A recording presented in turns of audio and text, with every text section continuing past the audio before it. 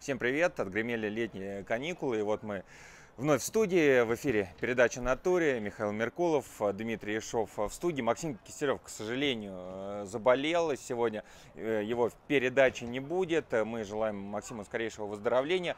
Э, как и год назад, мы первую передачу проводим в таких экстренных условиях, но не выйти мы не могли, потому что произошло много футбольных событий, о которых мы с Димой сегодня поговорим. У нас много видео, много интересных фактов, Дим. Ну и начнем, наверное, с Суперкубка, который стоял состоялся две недели назад. Э, в этом матче Трансконтейнер сразился с Титаном. Впервые обе, э, оба коллектива оказались э, в матче за, за Суперкубок Западной лиги. И для обеих трофей, конечно, был очень важен. Согласен, Дим? Безусловно, трофей очень важен, тем более, что трофей можно было завоевать всего лишь на всего за 60 минут, да, выиграв всего лишь на всего один матч. А, но здесь было еще очень интересно посмотреть на команды, потому что хоть и летнее трансферное окно, точнее, э, ну, вот это период межсезонья, он длится всего лишь на всего один месяц, но, э, с другой стороны, за этот месяц э, произошли колоссальные изменения не только в западной премьер-лиге, но и вот в частности в каждой из команд.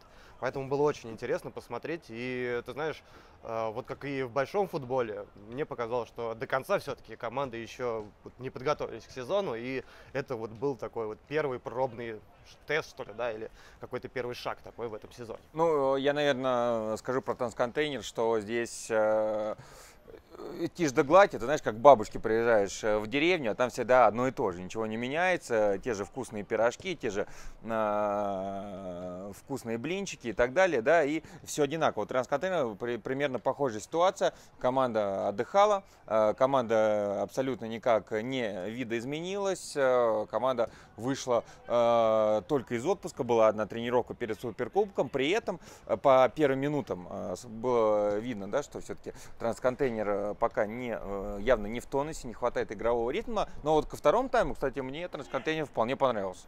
Ну, это вообще какая-то вот отличительная особенность в этом сезоне. Ну, конечно, мы судим только по двум матчам, какие-то долгоиграющие выводы делать рано, но э, второй тайм и даже в чемпионате, мы забегаем немножко вперед, э, трансконтейнер тоже начал очень хорошо и действительно лучше, чем первую половину встречи. Вот, э, что касается Титана, здесь э, ожидаемо было э, от Алексея Медведева, да, то, что э, будут те же рельсы, что и были в прошлом году, Но... когда команда э, активно начинает, вот эта э, модель игры, наверное, может быть не рельсы, а модель игры, э, будет более корректное слово, модель игры, она, в принципе, не изменилась по сравнению с прошлым годом, я думаю, что мы увидели прошлогодний Титан э, по манере, да, добавленными новыми футболистами просто. А Титан, как всегда, в а, это летнее трансферное окно выступил главным ньюсмейкером. А, и на самом деле подогрели они интригу вот к своей команде еще в конце прошлого сезона, да, вот те слова Алексея Медведева, что он уходит из команды, причем в качестве футболиста, и вроде бы он говорил, что и про тренерскую должность также, да, что вряд ли вы увидите у руля Титана его в следующем сезоне. Ну, Однако мы видим Медведева у руля, мы видели его в матче за Суперкубок в игровой форме, хотя вот уже чуть позже да, информация поступила, что ищет он себе другую команду и будет уже непосредственно играть э, в другом округе, скорее всего. Ну и нашел он эту команду себе. Э, ты, кстати, знаешь, куда Медведев ушел? Ну, я думаю, что один из суперклубов, один из топ? Вообще нет. То есть, ну, ты не видел еще, да, информацию. Он ушел, по-моему, на северо-восток к Василию Уткину. В Эгрисе? В Эгрисе, да, все верно. И теперь Алексей Медведев э, будет популяризировать именно вот э, команду э, Эгриси. Ну, соответственно, будет спокойно руководить командой из Бровки. Тем более, что Денис Локтионов, он сейчас принял команду второй лиги и занят именно там. Тем не менее, первый матч в этом сезоне, да, получился достаточно интересным. 1-1 вполне такой 1 счет, станд... при... стандартный счет. Стандартный счет, но при этом э, это 1-1 с большим количеством моментов. Э, во всяком случае, для такого матча, да, который носит э, вот то самое наименование финал, да, или кубок, в таких матчах, где результат зависит именно от 60 минут, обычно какой-то голевой феерии мы не ждем. Здесь же команды волю порезвились, да, проявить голкипером себя во всей красе. Такое не часто бывает, но те команды, которые играли за Суперкубок, они же встречались и в матче первого тура, и сейчас на ваших экранах вновь нарезка Титан Трансконтейнера. Вы можете даже не понять, что мы переместились уже из матча за Суперкубок в матч первого тура Западной Премьер-лиги, но это так и есть, и здесь примерно похожий матч, такое ощущение, что два, одина, два одинаковых матча, просто два 120 минут просто отбегали и все, 4 тайма. И, к сожалению, это самое было такое самое предсказуемое событие, вот этот итоговый счет, потому что, ну, всего лишь навсего неделя разделяла эти два противостояния, и мы спрашивали и у Николая Мазурина, главного тренера э, трансконтейнера, и у Алексея Медведева, наставника Титана, можно ли как-то преобразовать игру, как-то перестроиться. Они сказали, что нет, не в условиях э, вот, любительского футбола, когда у тебя там одна, ну, максимум две тренировки в неделю. Ну, различие разве было в том, что в матче за Суперкубок а, первым забил а, Титан, трансконтейнер отыгрался, затем наоборот, а, трансконтейнер забил во втором тайме усилиями Куликова, которому, кстати, ну поле помогло, потому что было скользкое, да, так скаканул в дальний угол. Ты знаешь, э, посмотрел несколько повторов, там даже не поле помогло, а вот э, какое-то волшебство, какая-то магия Максима Галихина, потому что именно он стоял перед защитником и голкипером и, видимо, закрыл так обзор, что просто-напросто просто Юрий Костриков не успел среагировать, он просто не видел момента удара и откуда мяч, собственно говоря, полетит в ворот. Ну а затем уже Илья Ульяников э, сравнял счет, э, но вот на то, чтобы э, забить второй мяч, было сложно. Все-таки команда больше действовали на то, чтобы не пропустить, и это было важнее всего. Вот опять же, много ждем от Ульяненкова, да, который ну, пришел, наверное, главной звездой в Титан, хотя было много усилений, мы трансферов, мы поговорим об этом еще э, чуть позднее, но тем не менее, да, все-таки Ульяников как главная звезда, как бомбардир, Галиадор, от которого мы, наверное, ждем очень-очень многого. Но в любом случае, всегда чаще говорят о нападающих, о забитых мячах, о каких-то подкатах, там, выжигании земли. Об этом обычно забывается. Работа там, того, же опорника, да, она не так заметна, как э, ну, работа атакующего полузащитника. То есть, соответственно, конечно, от Ульяненкова точнее, к нему очень повышенное внимание, и, конечно, ожидания, они, а, ну, наверное, где-то даже завышены, да, но посмотрим, сможет ли он их оправдать. Да, это первый сезон э, Ильи в западной премьер-лиге, и здесь тоже на него ложится большая ответственность. Э, тем более Титан надо защищать и титул чемпиона, и статус позволяет, и как команды, как и непосредственно самого футболиста. Э, что касается делать небольшие выводы, если, да, вот мне показался Титан, как я уже говорил, да, в нашем разговоре, похожим на, на прошлогодний манеру игры, что-то похожее, да, вот где-то как-то не Только изменилось без юношеского такого задора. Все-таки Титан, наверное, в прошлом сезоне был помоложе в целом, как команда.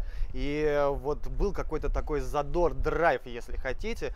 А, он играл и положительный, да, в положительную сторону, и в отрицательную, потому что мы помним, как э, против Мега Титана в конце сезона с такими глазами а, Титан побежал вперед и, в общем-то, совершенно спокойно на контратаках э, Мега Титан забил 5 безответных мячей. Мог забивать еще и больше. Ну, э, с точки зрения физиологии, с тобой согласен. Титан, конечно, повзрослел, но вот э, что касается э, эмоциональной составляющей, да, понимания, ну, не знаю, я пока что не уверен, э, будем смотреть, наблюдать, и вот этот год он будет как раз очень интересным и ключевым, Титан будет действительно интересно понаблюдать, но вот пока я бы поспешных выводов все-таки не делал. А, да, безусловно, но и интересно будет, как а, разберется Алексей Медведев, как он рассортирует всех своих игроков, потому что много усилений, много травмированных, и, ну, если так вот, э, да, в колорах э, часто говорят, что у Титана уже чуть ли не три Э, равносильных, равноценных составов.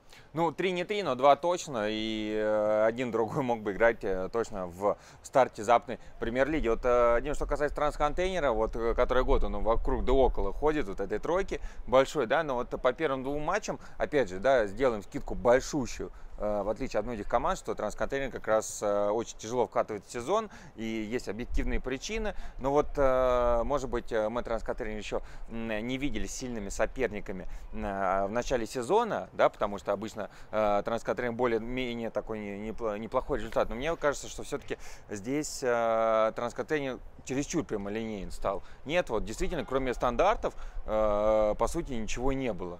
Вот меня немножко это настораживает.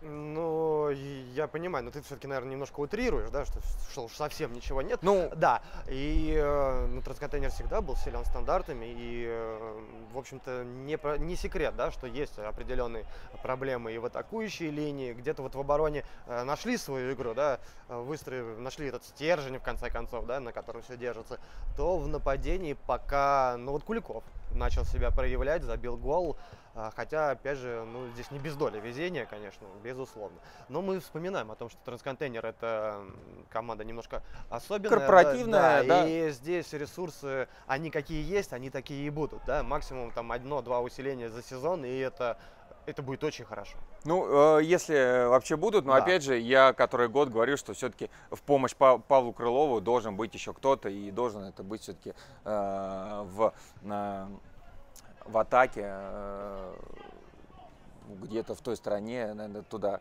э, искать, на мой взгляд, э, топового футболиста, топового. Ну, где же его найти, да, но это другой вопрос. Максим Галихин, Андрей Жарков, они появились в стартовом составе с первых минут, мы говорим сейчас уже про матч чемпионата, а вот в матче за Суперкубок они оставались долгое время на замене. А, Все это намекает на то, что мы будем чаще намного видеть Максима Галихина в этом сезоне в стартовых составах. И это, конечно, отрадная новость и для нас, и для переводчиков, я думаю, тоже.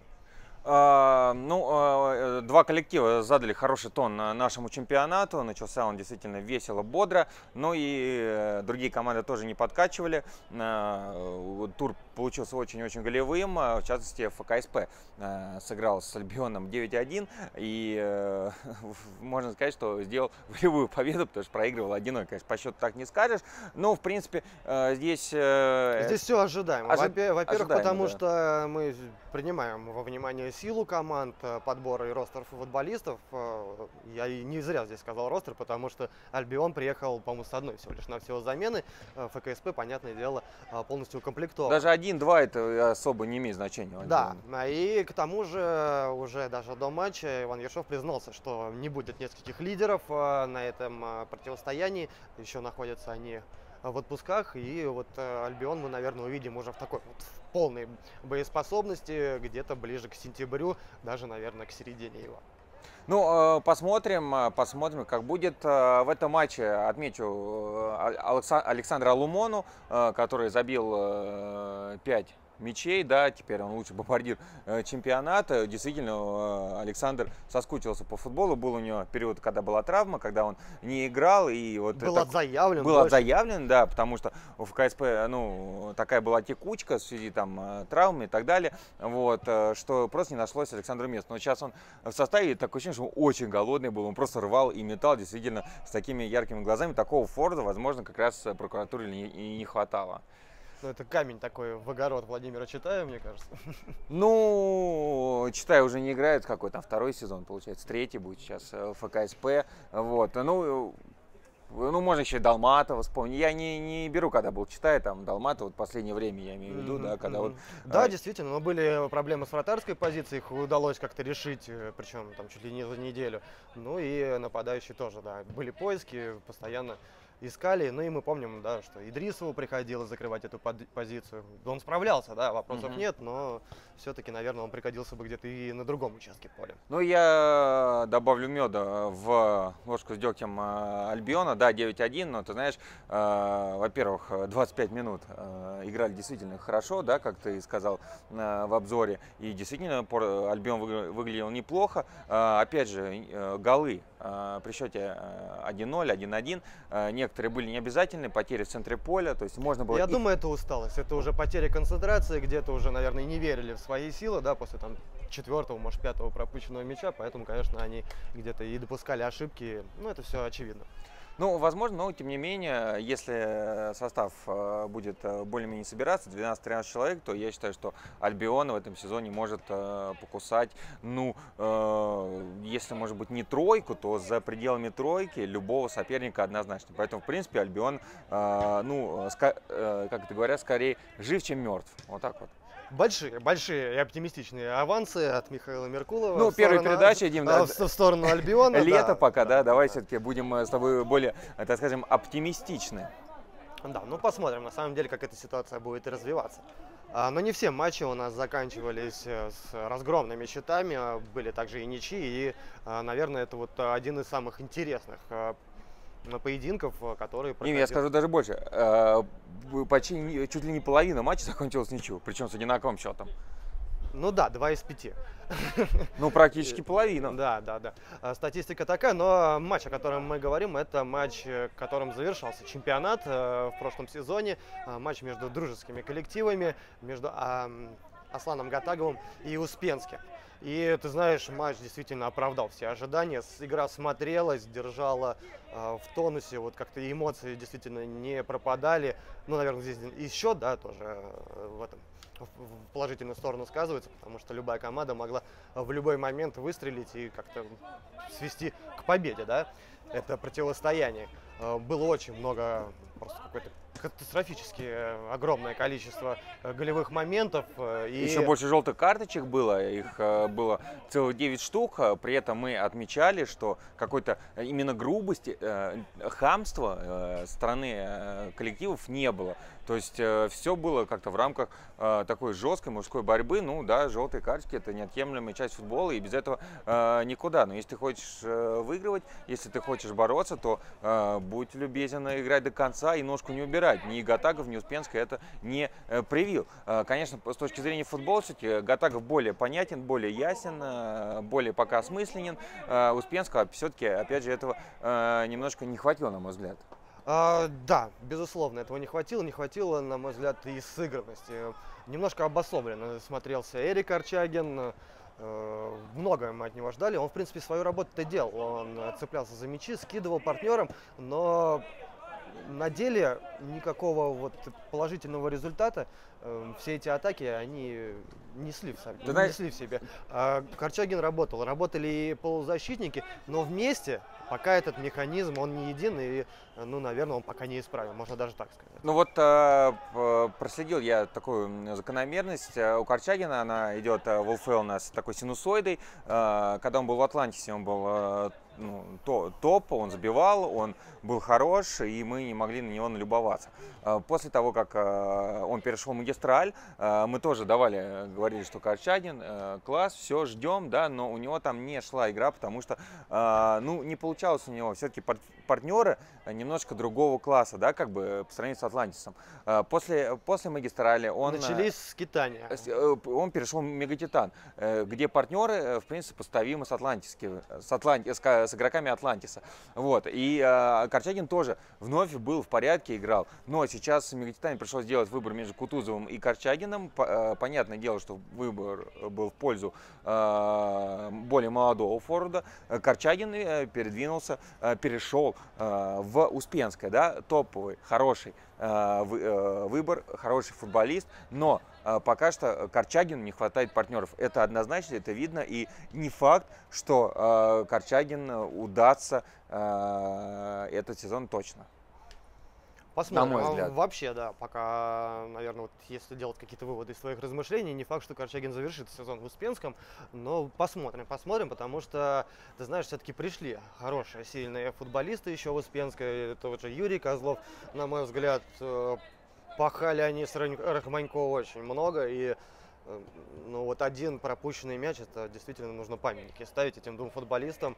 Э, их заслуга в этом просто катастрофически огромная. Я с тобой согласен. Э, Козлов, безусловно, это шикарное усиление, да, он поможет, но это, вот опять же, ты правильно сказал, это Рахманько и Козлов, да, с Корчагином они, в принципе, не, вза... не взаимодействуют, друг от друга не зависят. А вот вопрос, кто будет подносить снаряды Корчагину, это уже совершенно другой момент. Да, я вижу, что Александр Голевец очень нравится Эрик Корчагин, они нашли язык, понимание, это очень важно, когда тренер и футболист, но, опять же, э, да, и Корчагину нету вопросов, что он-то цепляется, он э, не халтурит, он отрабатывает э, свое время, вот, но пока что до Корчагина, для, для Корчагина нужны соответствующие партнеры, пока их нету.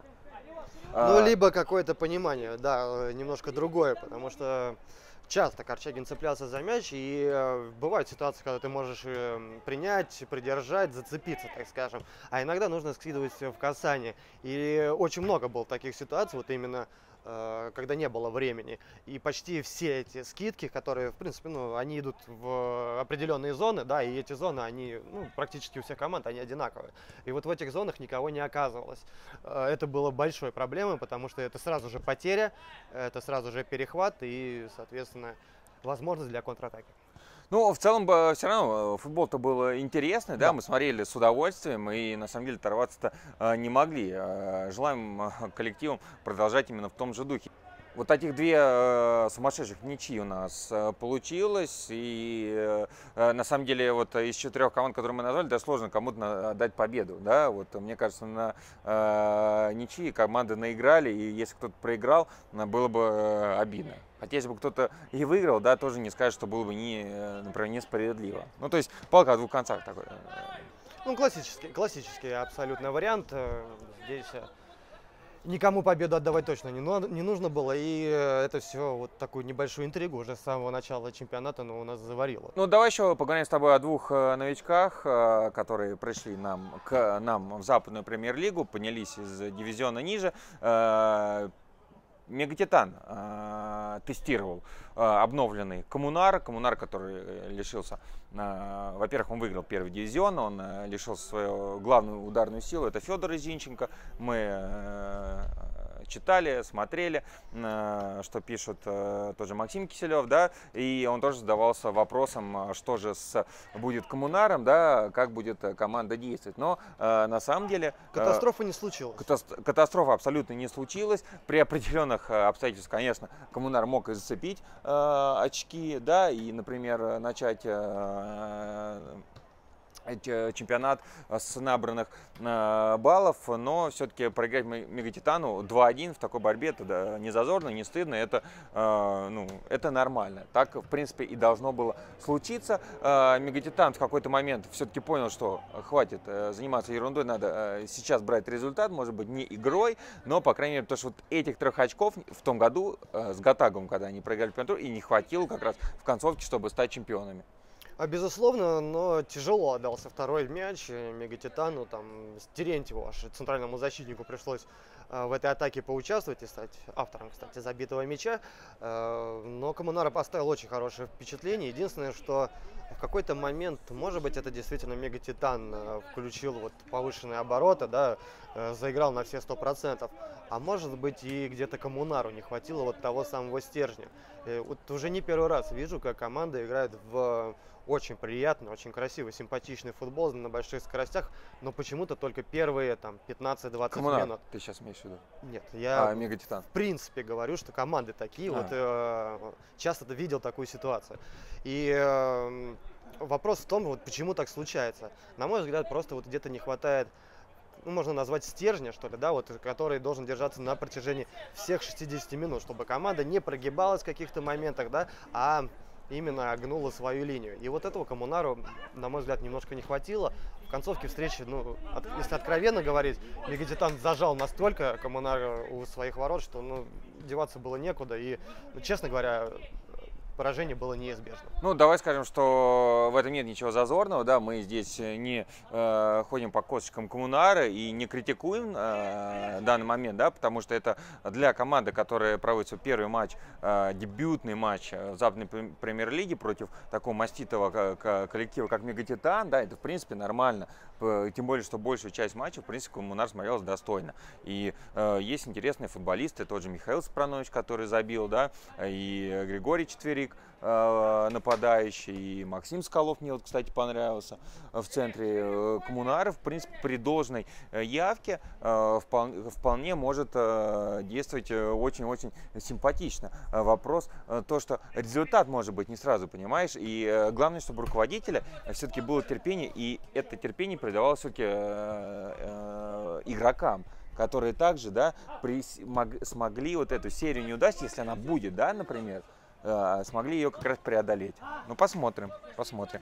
По одному матчу э, вряд ли стоит делать какие-то выводы, да, но все-таки мы всегда, да, вспоминаем, и как Мегатитан начинает сезоны, это не самое такое вот уверенное, да, и очевидное начало, поэтому сложно сейчас вот говорить, э, на каком фоне мы увидели Коммунар, на фоне топ-команды или же на, на фоне топ-команды, которая только вкатывается в сезон. Да, потому что вроде сейчас э, хорошо сыграли с Мегатитаном, все, класс, супер, да, и значит нам там э, более слабый будет по плечу, да, а на самом-то деле Не сейчас... факт. Да, не факт, он-то и дело, да, сейчас будут все настраиваться, Э, две команды у нас еще э, не играли, поэтому посмотрим, посмотрим, э, очень интересно, Ну, э, подытожим, да, Коммунар э, приятное впечатление, да, э, будет ин- интересно наблюдать за его э, выступлениями. Ну, еще один дебютант, э, Adidas U23. Честно говоря, абсолютно я перед матчем с э, не представлял, как может сложиться игра, потому что э, практически полностью поменял состав из тех таких опытных э, футболистов остался разве что э, Анти. Анти, Анти, да, Дим, спасибо. Вот, э, Сашнин э, перешел, который э, провалил сезон. Воссоединился с Евгением Какацием. Да, с э, такая связка из КПРФ. Вот, ну, пожалуй, все. Кто играл на таком более-менее высоком уровне. Остальные все... Не, ну остался Налетов все-таки. Защитник уже не первый сезон выступает в премьер-лиге, поэтому, в принципе, еще и можно назвать его, да, где-то перспективным, потому что не такой э, возрастной, да, игрок. Ну, вот еще буквально полтора года назад играл в молодежной сборной Запада, поэтому, да, действительно, э, ну, в самом соку-то точно, но посмотрим, были травмы, была нестабильная игра, и таким уж э, там звездным игроком пока его, конечно, назвать э, нельзя. Тем не менее, э, здесь, э, опять же, здесь как раз нельзя э, делать какие-то выводы по ЦДН. Вот по, по Адидасу, э, вот у меня сложилось впечатление, что это пока это явный аутсайдер нашего э, чемпионата, честно говоря, и... э, Ну, не видели еще, Миш, все-таки всех, да, но вот из того, что видели, да, пожалуй, э, самое вот непонятное впечатление оставил э, именно этот матч в целом. И ЦДН тоже, я, я могу тебе сказать, э, не произвел впечатления вот прошлогодней команды. Ну, и, к- конечно, нет, И конечно. больше скажу, что, в принципе, э, далек, далек ЦДН еще от какого-то вот действительно топ-уровня от э, того, куда они, в общем-то, всегда, и, ну, я имею в виду, риэлторы и стремились. Нет, не то, что еще далек, а может быть он уже далек. Знаешь, э, может быть вот так даже вопрос можно будет ставить. И не факт, что они э, к этому топу и э, сумеют подойти. Понимаешь, потому что э, заменить тех, кто ушел, практически нереально. Это понятно, да, заменить э, нереально, но здесь вопрос, на что будет претендовать э, ЦДН. Если это опять-таки борьба за тройку, э, победа там в любом кубке, то с таким составом, с такой игрой в этом сезоне вряд ли что-то Дима, извини, получится. сразу перебью Мне твои мысли. вообще- Скорее всего, вообще- насколько я знаю, что нету задач быть где-то в тройке, еще где-то. Но это быть вот, просто э, играть. это пока нет официальной версии, да, мы пока не будем давать какие-то действительно вот эту информацию. Есть задачи, нет задачи, но ЦДН мне напомнил, э, знаешь, команду риэлторов где-то вот двухлетней, может быть, давности, когда, э, в общем-то, игроки-то хорошие, да, но они играют каждый сам за себя. И здесь вот в плане командных действий у ЦДН были большие проблемы, на мой взгляд. Но перспективы есть, как думаешь? Перспективы, конечно, есть, потому что есть все-таки какой-то подбор футболистов, есть опытный и, самое главное, не психующий наставник, я имею в виду, который не будет метаться и э, там из угла в угол, да, и какие-то вот новые тактики пробовать каждый день. Поэтому надеюсь, что да, где-то к середине сезона уже ЦДН наберет свою такую полную мощь.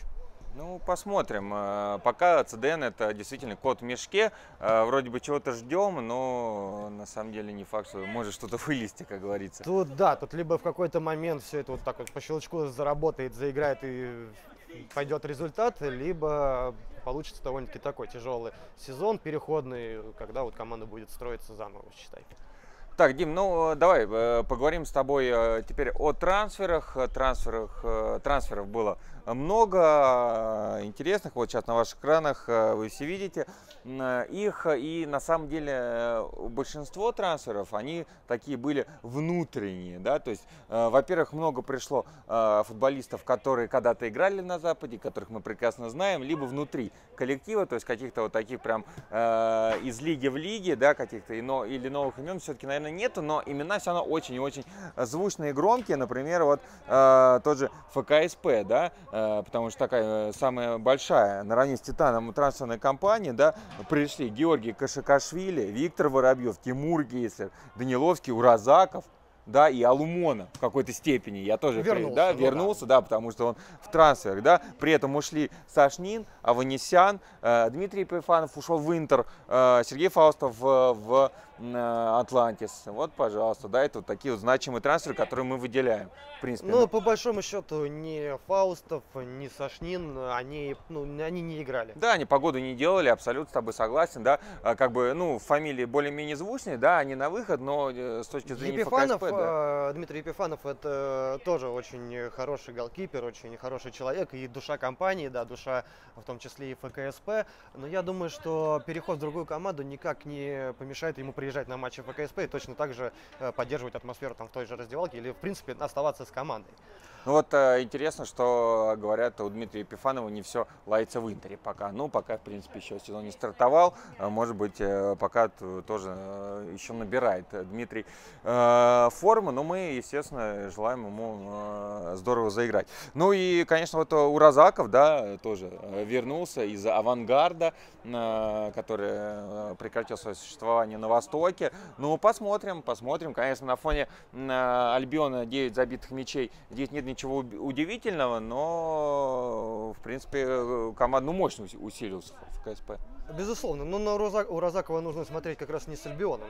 Действительно, его уровень будет виден уже с каким-нибудь топ-соперником. Вот тогда он у себя уже начнет а, действительно проявлять. Усиление, безусловно, ну и хорошая трансферная политика от ФКСП в целом. Такая же, как э, и от Титана, но здесь... Э, здесь вот мне кажется, что перебор. Я уже озвучивал эту мысль, что тяжело придется Алексею Медведеву по ходу сезона, потому что сейчас э, восстановятся все, да, у кого есть травмы, и будет тяжело, ну, на мой взгляд. Э, либо Алексей Медведев знает, что не все восстановятся. Или да, что-то еще. Да, или что-то еще, да. Ульяненков, Камисов, Мамаду, Харламов, Кулагин, э, э, Катаев – это вот все футболисты, которые пришли, а ушли-то, по сути, Лужников и, Медве... ну, и сам Медведев, собственно говоря, да, поэтому здесь действительно как бы не перебор, тот же Ульяненков наверняка не будет сидеть, да, он и не сидит сейчас, а Габцев... Э... Ну, они будут играть, скорее всего, где-то равное время, либо как-то там, может быть, э, вдвоем даже на поле. Здесь как раз э, более-менее все понятно, но поправится Севастьянов, э, э, Мамаду поправится. Всем им нужно будет находить э, место на поле.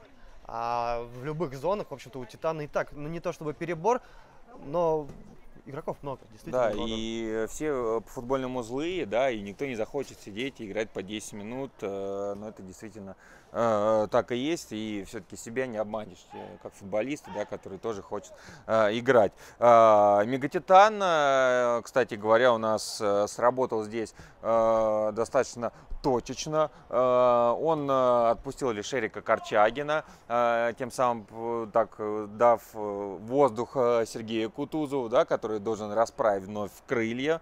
Ну и если мы не берем таких заслуженных уже футболистов, да, это Алексей Захаров, Кудрявцев, Юрий Король, да, в принципе, ну, они уже погоду в последнее время в Мегатитане последние несколько лет, да, не делали, поэтому, ну, мы ну, так... они даже, да, на матче то ли не вызывались, то ли сами не приезжали. В общем, в любом случае мы их очень редко видели. Да, да, при этом э, на э, вход зашли Сергей Дрягин, э, для нас был абсолютно непонятный футболист, ну, вот... Неизвестный, ладно. Неизв... Ну, с точки зрения мы не знаем, да, да, потому что мы его не видели, вот, проявился с очень хорошей стороны, забил матч против Коммунара, смотрелся здорово, действительно, Ибрагим Ибрагим вообще начал матч э, в стартовом составе. И... Но пока, пока не произвел того впечатления. Ну, перед игрой, честно, Дима, да, да, вот я тебе говорил, его нахваливали, хвалили, там, супер, топ. Ну, да, я с тобой согласен, что э, там... Пока нет. Вот, пока вот совсем не уровень Мегатитана. Посмотрим. Я опять же говорю, что это первый матч, и э, тем более, что первый матч э, не только Мегатитана в этом сезоне, еще и игрока за Мегатитан, поэтому, ну, конечно, нужно, наверное, какое-то время, чтобы влиться в команду. Ну вот э, Ибрагим Ибрагимов э, перешел из Зумруда 86. Ну также вернулся Владимир Читая, он играющий тренер. Э, но не играл. Да, вот, он не играл, но скорее всего большая часть э, так и будет, но в случае чего он заявки может в принципе переодеться, помочь. Если... Ну подменить того же Сергея Кутузова, да? Ну если, да, да, если да. вдруг у, у него будут какие-то да, там, да. Э, Ну и все-таки я еще отмечу из таких э, э, топ-трансферов, это все-таки переход Валерия Аванесяна да, из ФКСП. Э, здесь он сразу занял место по в стартовом составе. Я думаю, что Аванесян... Ну, еще был он под руководством Читая, сидел на замене. Ну да, согласен, поэтому это вот э, такой тоже топ-трансфер. Э, ну, ЦДН вообще здесь э, полностью обновился. Здесь, наверное, проще говорить, кто ушел на выход. Да все. Да, э, больше вся, вся опытная братья, так скажем, все, кого говорили, все они, конечно, э, ушли. Из тех, кто пришел, я бы отметил, кстати, э, мы сказали, что Какаций воссоединился с, с Шниным, да, еще, кстати, Лунегов вот добавляется к ним, тоже такой, такой трансфер получается у нас. Ну, э, всех перечислять не будем, потому что вот э, в основном таких вот известных, да, наверное, все-таки футболистов э, здесь топовых ну, нету на первый взгляд, да, вот так мы будем, скорее всего, критичны. Успенская, да, это, опять же, Корчагин приход, Козлов, Леонтьев, да, вот такой достаточно неожиданный трансфер, в принципе, как вот ты улыбаешься, да, потому что э, нигде, ни в одной команде, мне кажется, сезон Леонтьев, да, не доигрывал. Да, это правда, но не знаю, я думаю, что все-таки возраст должен уже сказаться, и как-то где-то нужно быть э, потерпимее, да, и к себе, и к партнерам, да, вообще, в принципе, к окружающим. Понятное дело, что не у всех все будет получаться, тем более не с самого начала, но надеюсь, что как бы вот этот э, действительно, как сказал Максим э, Киселев, этот роман Леонтьева и Успенского, он будет э, долговечен. Но сам Дмитрий, сама его игра очень запомнилась, понравилась, и ты знаешь, здорово выглядел, там и в крестовину попал. Юрий, Действительно очень яркий игрок. Юрий Козлов из «Авангарда» усилит оборону, это однозначно. Человек э, опытный, 33 года, все при нем. Э, ну и вот Максим Шуньков еще такой интересный трансфер из «Торпедо Сити». Э, будет подносить, должен, по идее, подносить снаряды Эрику Корчадину. Говорят, очень хороший удар у этого футболиста, но вот расчехлить его с Асланом Гатаговым не получилось. Ну, ну вот этим уже не удивишь. Если честно, хороший удар, ну, у всех сейчас уже хороший удар. Кто прошел там футбольную школу, я думаю, что вряд ли у кого-то удара нет. Ну, единственное, такой... единственное, что может быть какой-то действительно там фантастические удары, типа, э, типа Бирюкова, да, вот как исполняет Бирюков или Крылов, вот, которые ставят действительно неразрешимые задачи перед голкиперами. А так пробить, ну, я думаю, что может уже, наверное, любой в нашем мире.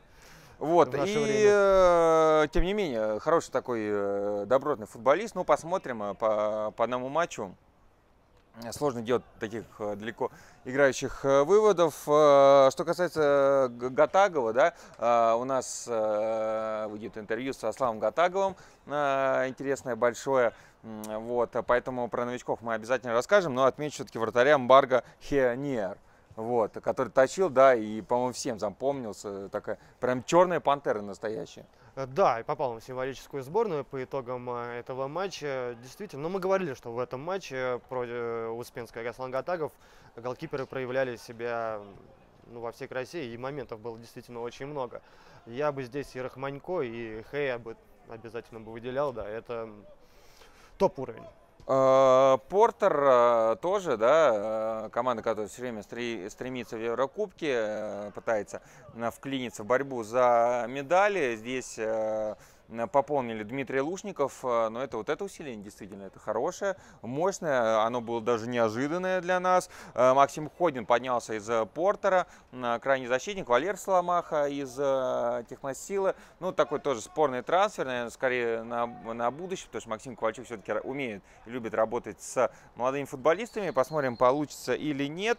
Ну и на выход Роман Нестратов, да, вот, к сожалению, его ключевые ошибки где-то Не срослось, не, не срослось, срослось да. да. У Романа с Портером здесь объективен выбор Максима Ковальчука и с другой стороны, как бы я не думаю, что э, Нестратов его на этом, ну, стоит как-то расстраиваться, нужно просто найти другую команду и попробовать свои силы там.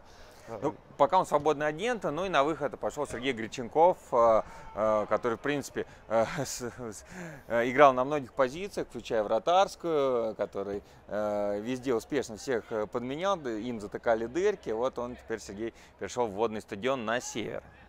Вот. Ну и э, из дебютантов, да, из отметим Феникс 9, и это Федор Зинченко.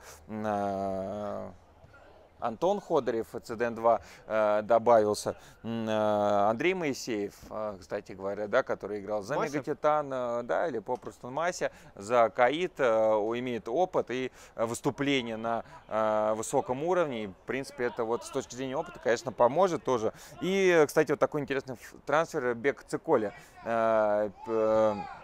Э, э, перешел, помнишь ему, да, помнишь его под сет номер 7 он играл, ну, вот, тут терзал наши команды, может быть, посмотрели руководителя э, на Беку э, Феникса 9 и решили при, пригласить его. Э, ну, такая довольно-таки агрессивная все-таки политика, по большому счету, Феникса ну, да. 9, потому что забирает футболистов у своих конкурентов. Если говорить про э, Коммунар, то это самое, что ни на есть прямой конкурент. Ну да, да, да. А, поэтому, да, вот здесь э, где-то с хитринкой, мне кажется, к трансферной политике они подошли.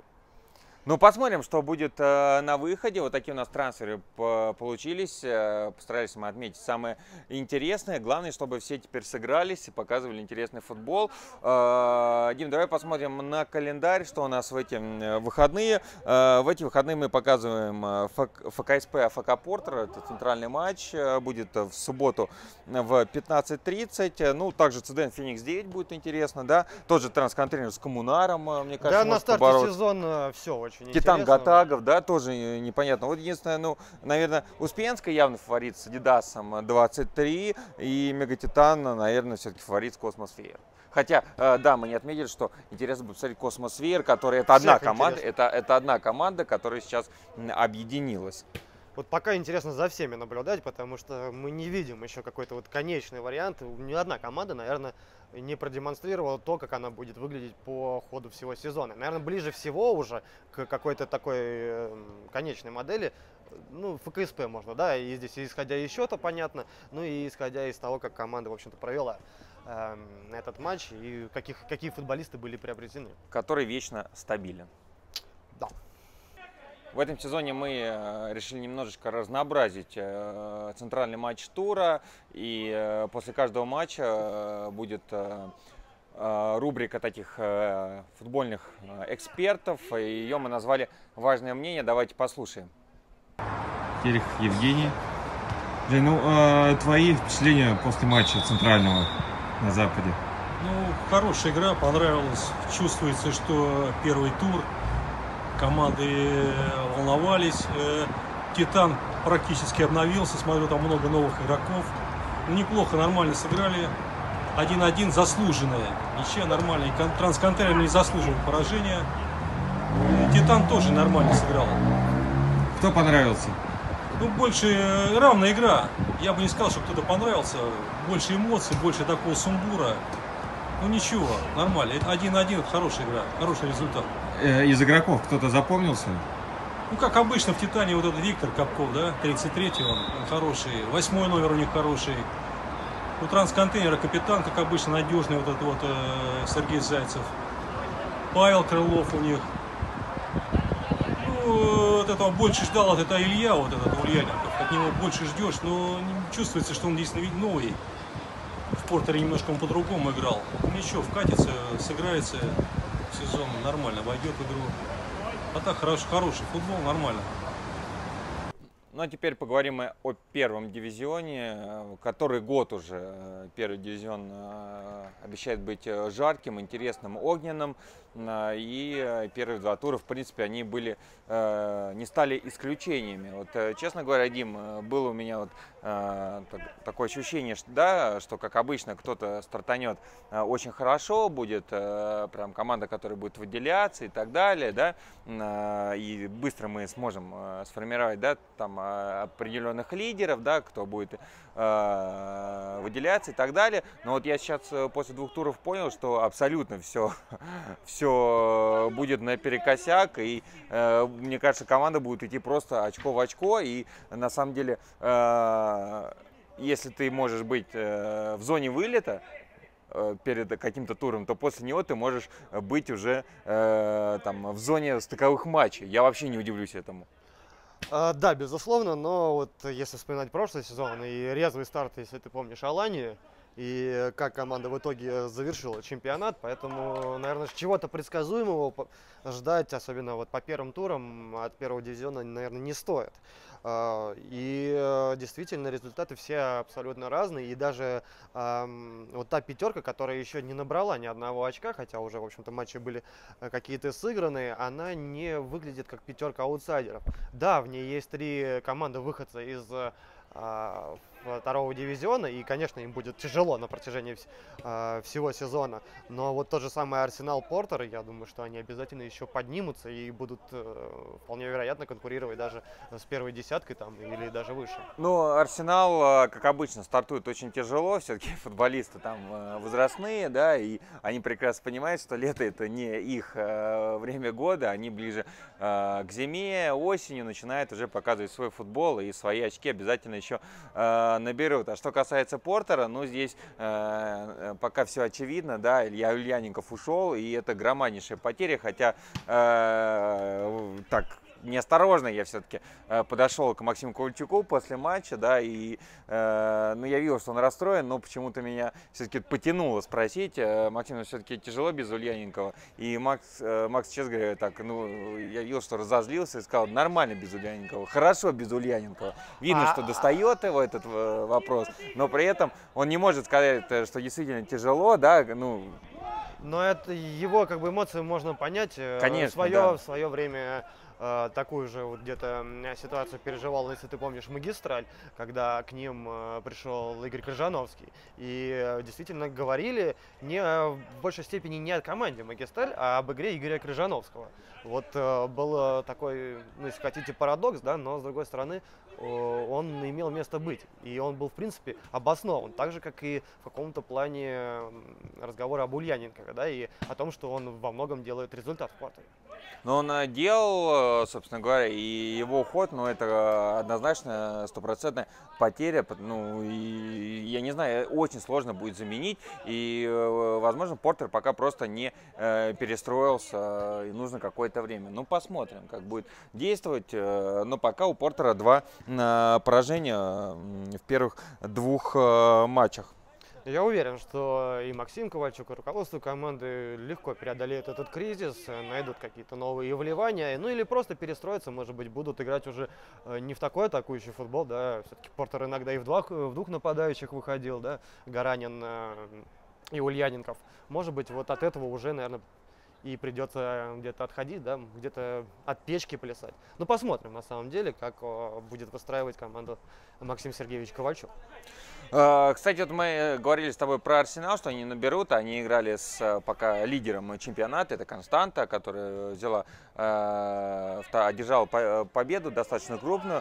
Э, вы видите, да, на а, сейчас на ваших экранах, что, в принципе, э, моменты были у Арсенала, он мог забивать, вот, и где-то даже играл более-менее, э, старался играть на равных, но все-таки молодость, наверное, задор Константа, они сказались э, ключевыми, оказались факторами в этом матче, да, да, вроде 5-1, но мне кажется, немножко не, не совсем отображает, как было на поле. А, возможно, возможно, не отображает. Э, здесь э, перед матчем э, так вот, буквально на ходу спросил у Владимира Тихомирова, как, собственно говоря, обстоят дела с Арсеналом, да, потому что ну, прошлый сезон выдался очень тяжелым, особенно для тех, кто именно занимал, занимался развитием да, и сохранением коллектива.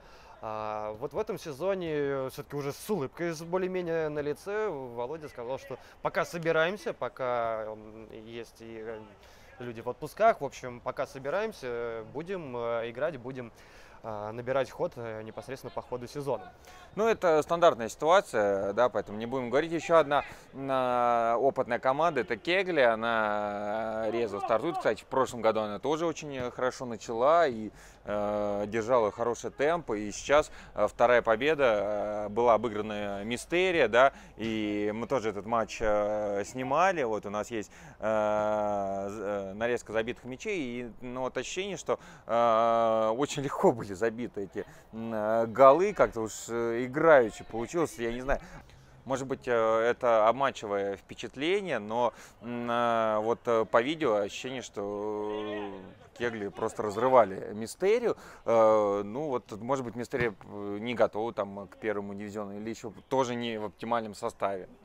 Интересно. Я, честно говоря, тоже от Мистерия ожидал большего, но зная, как все-таки тяжело играть с кеглями, как они умеют иссушить игру и где-то э, играть там, да, жестко, где-то даже, может быть, э, грубо, и при этом э, сохранять свои ворот неприкосновенности. Кстати, единственный гол, да, э, был забит, ну, там просто Капралу, видимо, то ли солнце закрыло, да, как-то вот обзор, то ли еще что-то. Ну, в общем-то, не обязательный гол совершенно Дмитрий пропустил, и э, тот матч мог завершиться вообще с, с сухой победой в пользу Киглей.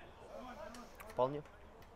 Вот, но тем не менее, да, сейчас Кегли э, делают то, что умеют. Э, на опыте они, конечно, э, обыгрывают, тем более дебютанта первого дивизиона. Опять же, да, между вторым и первым все-таки тоже разница есть. И тем более Кегли это опытный боец, который, в принципе, мог бы еще играть неплохо и в западной премьер-лиге. Но... К тому же, как мне показалось, немножко команда усилилась, были видны свежие лица новые и э, такие вот интересные, очень обдуманные атаки э, были.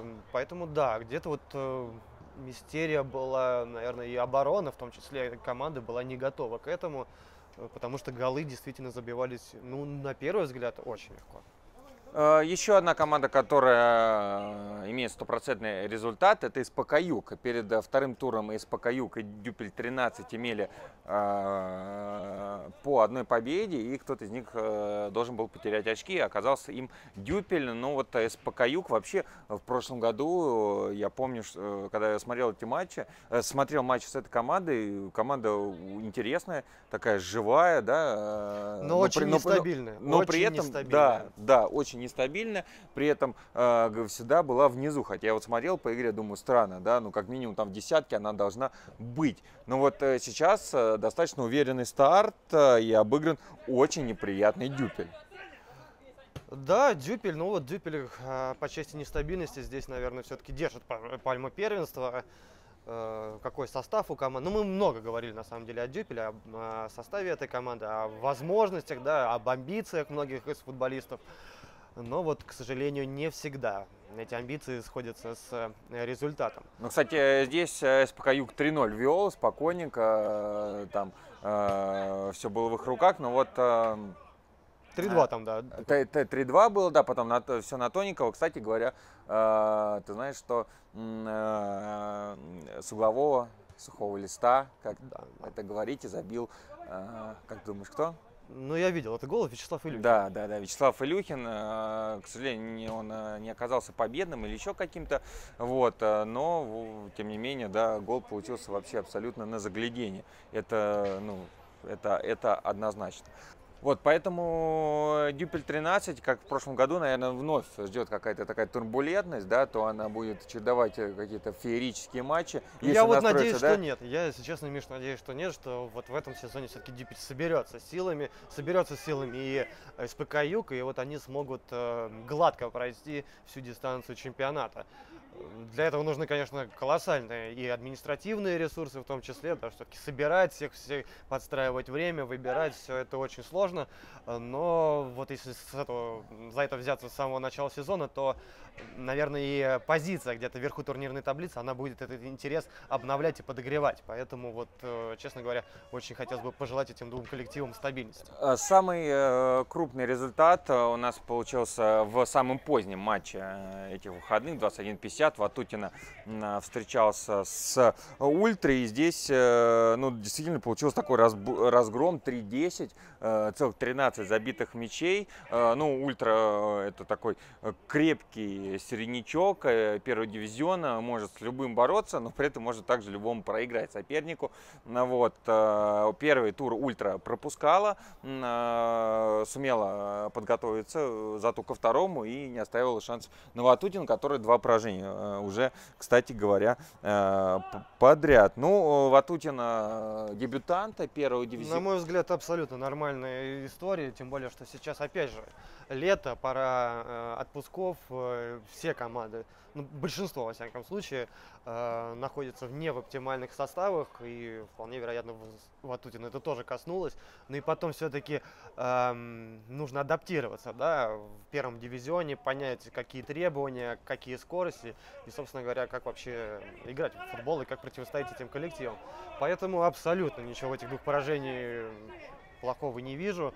Да, конечно, можно было бы да, выиграть, это было бы лучше, но абсолютно нормально, что команда сейчас притирается где-то к новым требованиям. Скорее всего, какие-то обновления, тоже все это притирается. Сейчас приедет, э, приедут люди из отпусков. Я думаю, что все должно наладиться. Ну, отмечу еще две команды у нас. Это Заречье, которая э, вообще возглавляет на данный момент, хоть и по дополнительным показателям, э, таблицу первого дивизиона. Был обыгран во втором туре, в частности, Портер 5-1 это, это круто. Какая разница, что нет Ульяненко, но это проблема не, э, точно не за речи. Да, тем не менее, 5-1. Э, это... Ладно бы, если бы там 1-0 проиграли бы, да, но ведь 5-то пропустили. И здесь Ульяников даже не виноват э, на самом-то деле. Вот. Э, но, тем не менее, Заречье э, очень мощно стартовало. Да, в первом э, туре был подиум. Может быть, еще и календарь благоволит, да, когда можно вкатиться, можно почувствовать первый дивизион. Ну и вторая команда это Атлантис, да, тоже уверенная победа над Барсом 6-1. И тут бац, поражение от Атлетика 2-3. Вот тебе, пожалуйста. Вот о чем я тебе говорю. Да, вот этот результат, э, честно говоря, не видел я матч, параллельно просто проходили игры, и э, когда я услышал, что Атлетика обыграл, дело не в том, что я верю, не верю в Атлетику, я видел Атлантис против Барса, и Э, в принципе, да, там э, против других команд игру Атлантиса, это, конечно, что-то с чем-то, это совершенно космический уровень. И вот э, нужно действительно выделять как-то, я не знаю, тех, кто смог, мог, смог обыграть эту команду. Но ну, тут здесь большая, конечно, ну большое, конечно, Э, должна быть доля и где-то везения, наверное, и мастерства, и физической подготовленности, потому что Атлантис переиграть очень сложно. Его да. можно перебегать, перетерпеть, э, вот как-то так. Вот, вот, Дим, вот ты, собственно, и сказал э, рецепт успеха против, от, против Атлантиса, да, Барс играл, старался играть в футбол, Атлетика закрывалась, искал свой шанс, после первого был 1-1, и играл вот эта вязкая игра, то есть Атлантис не любит играть. Вот, пожалуйста, показали, как не надо действовать показал Барс, э, как надо действовать, показал Атлетика. В результате 3-2 Атлетика набирает первые очки, Атлантис первые свои очки э, теряет. И вот мне кажется, вот, это, вот этот матч это э, результат квинтэссенции всего нашего чемпионата, который э, будет. И будет вот, э, туда-сюда. Мы очень сложно будет предсказывать э, какие-то результаты, потому что, э, как показывает даже второй тур, э, здесь могут быть самые неожиданные результаты. Да, но по словам Максима Киселева, Атлетика ставит перед собой задачи, очень большие амбиции у этой команды. И вообще даже ходили такие слухи, не буду говорить, кто их пускал, э, что Атлетика э, вовсе уже нацелилась на премьер-лигу, причем еще в этом сезоне, да, команда хотела туда заявиться, но вот, видимо, все-таки решила, что нужно э, сезончик повариться еще в первом дивизионе. Поэтому я думаю, что задачи у Атлетики, они очевидные. Это, конечно же, выход в премьер-лигу. Ну, э, очень много, э, на самом деле. Вот турнирную таблицу на ваших экранах, а, очень много претендентов, кто мог бы э, идти в лидерах и претендовать на выход в премьер-лигу. Сейчас я так даже э, не, не, ну, сходу не скажу вот явных фаворитов. Да, я бы вот если бы Атлантис выиграл бы Атлетика, я бы все-таки мог бы сказать Атлантис, например, да. Но вот, э, ну, пожалуй, Кегли можно бы отнести к таким вот все-таки фаворитам первого дивизиона. Да, вот что касается Кегли, этой команды, команды, то в первую очередь на ум приходит стабильность, да, и если, а ведь самое главное, стабильно пройти весь сезон, очень ровно пройти чемпионат, и тогда действительно можно э, надеяться на какие-то медали уже по весне. Э, и Керли, в принципе, на это способен. Дим, кстати, мы с тобой не отметили э, такой интересный момент. Первое поражение за два года импульса Вот оно что. Мы совершенно забыли от мистерии. И э, помнишь, мы призы даже давали в свое время за ту команду, которая обыграет. Но это было во втором дивизионе. Но, Но вот. э, так как никто не обыграл, призы мы в итоге-то и никому не отдавали. Да. А, тем не менее, вот в первом туре у Импульса случилось поражение со счетом 4-3, как раз вот от выходца тоже второго дивизиона, от Мистерии, да, вот тоже Мистерии, пожалуйста, э, с Импульсом э, обыгрывает да, при этом э, проигрывает э, Кеглям 3-1. Э, ну, здесь, наверное, стоит о силе Кегли, да, в первую очередь думать. Ну и Мистерия, опять же таки, все-таки это дебютант первого дивизиона, и нужно время, чтобы немножко адаптироваться. Да, где-то команда смогла э, одержать победу, и не факт, что, в принципе, не будет да, побеждать, но все равно вот это время, это притирка, это, оно должно пройти. Все это через, ну, через это никто не перескакивает, да, оно одинаково у всех команд. Ну вот то, что касается импульса, обыграли они 11-5 э, подиум. Ну, понятно, что э, два вторых дивизиона были э, на раз-два, но вот первый дивизион немножко уже другая совершенно атмосфера, и здесь на полной ноги никого и просто так не обыграешь. Тем более все знают уже об этой серии, да, два года без побед, и здесь будут настраиваться на импульс «Будь здоров» похлеще, чем Атлантис, Барс там, э, и Кегли те же. Ну и Импульс сейчас э, будет выступать э, в виде такого раненого зверя, потому что команда и особенно ее руководитель проигрывать никак не любят. И, э, конечно, допускать два поражения подряд, я думаю, что это будет уже действительно катастрофа небольшая для импульса. Да. А, ну, в общем, а, не а, первый дивизион, а просто конфетка какая-то. А, читайте а, все самые интересные новости. У нас на сайте Роман Шестак пишет просто великолепно, очень вкусно. На, на сайте также подписывайтесь э, к нам э, на телеграм-канал, э, на западную страничку, там тоже будут все свежие новости, но у нас э, осталось не охвачено только один мини-еврокубок, это Кубок Переправы. Почему мы заостряем, заостряем на нем внимание? Потому что, во-первых, там играла наша команда Феникс-9, там участвуют команды, которые играли в первом дивизионе, победители вот, и, соответственно, э, Феникс 9 э, подходит под эту категорию. Э, они в прошлые выходные обыграли своего в 1-4 соперника и прошли в полуфинал, сыграли, где сыграли с пиратами. Была крупная победа достаточно, но там абсолютно... Пиратов потопили, да. Да, пиратов потопили, борьбы как таковой не получилось, ну и в финале встретились мы с Хайтеком. Хайтек это команда, которая северная команда, опять вот оно, прочитание запада-севера, э, очень мощная, очень э, классная, ну, играет Валерий Лихобаенко, понимаете, да, что это уже э, топ, и это уже, значит, команда с деньгами, с хорошими. Да, здесь это лучший показатель, лучший индикатор.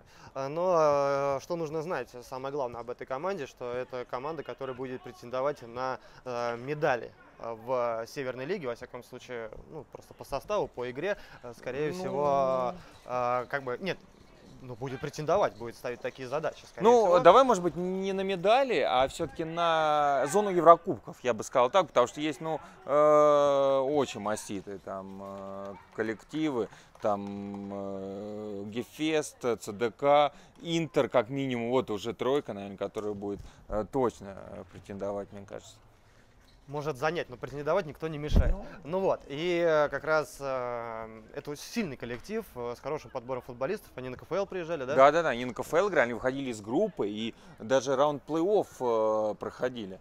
То есть, соответственно, коллектив очень хороший, и такой вот, э, такая небольшая проверка была для Феникса 9, и, на мой взгляд, они ее прошли. Вот даже несмотря на счет, несмотря на э, то, что не удалось да, завоевать этот самый Кубок Переправы, да и бог с ним, во-первых, команда проигрывала, Феникс 9 по ходу финала проигрывал два мяча, потом а, смогла отыграться.